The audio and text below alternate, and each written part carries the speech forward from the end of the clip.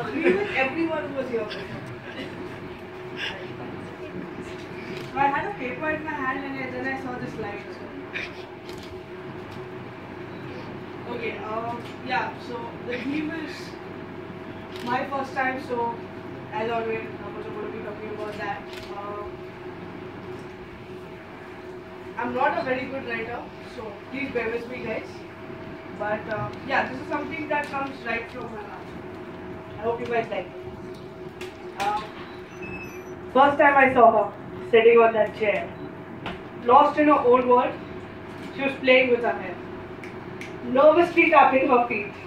She kept dropping some fire, then softly mumbled something and reached for the floor tile. That lipstick shade she was wearing, I still can't let go. She was filled with colors and not a freckle on her brow. I just stood there looking at her still. Then someone patted me and asked, Why was I so still? With no expression at all, I took a step towards her. She looked me right into the eyes. Felt like a storm in October.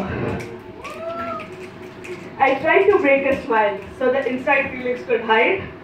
Little did I know, one day she would become the one I would, in whom I would confide. Hmm.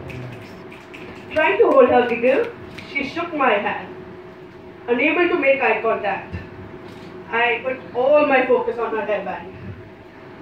Oh, that awkward moment. We both didn't know what to do next. Luckily, her phone rang, and she had to answer that text. A couple of sec- seconds later, no, I only meant seconds, I promise. I was only seconds. A couple of seconds later, I realized my hand was still in the air.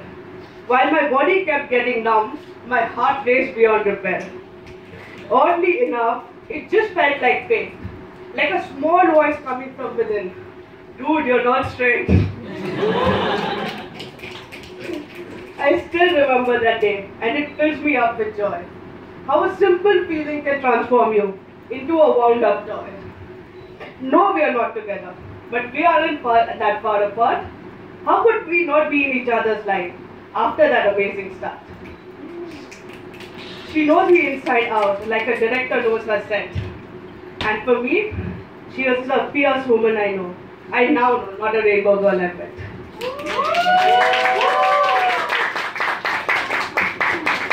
That was amazing, guys. Can we have a huge round of applause for her?